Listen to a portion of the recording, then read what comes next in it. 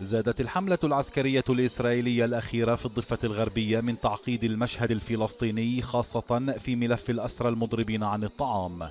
بعد اعتقال إسرائيل لعدد ممن أفرج عنهم في صفقة شاليط قبل ثلاثة أعوام. في رام الله خرجت مسيرة تضامنية مع الأسرى تطلب من المجتمع الدولي التدخل العاجل.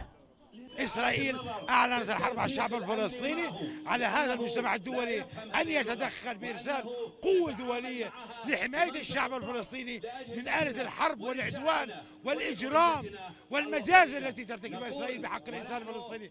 اعتقال الأسرى اقتحام مؤسسات اقتحام الجامعات مراكز المدن مراكز السيادة الفلسطينية. المتحدثون طالبوا القيادة الفلسطينية بسرعة اتخاذ خطوات جوهرية مع دخول الأسرى المضربين عن الطعام شهرهم الثالث ودخول بعضهم مرحلة صحية حرجة. الذهاب لمجلس الأمن مجرد كلام. قد لا يضر ولكن لا يفيد. الذي يفيد الذهاب الفوري إلى محكمة الجنايات الدولية وهذا ما نستطيع عمله إن أرادت القيادة الفلسطينية أن تفعل ذلك. فبعد اعتقال إسرائيل لمئات الفلسطينيين على خلفية بحثها عن المستوطنين المختفين أصبح عدد الأسرى الفلسطينيين في السجون الإسرائيلية نحو ستة آلاف أسير.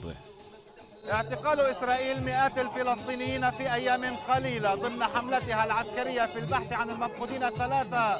جعل من قضية الأسرى الفلسطينيين في السجون الإسرائيلية قضية قابلة لإشعال الشارع الفلسطيني في أي لحظة. فراس لطفي سكاي نيوز عربية رام الله.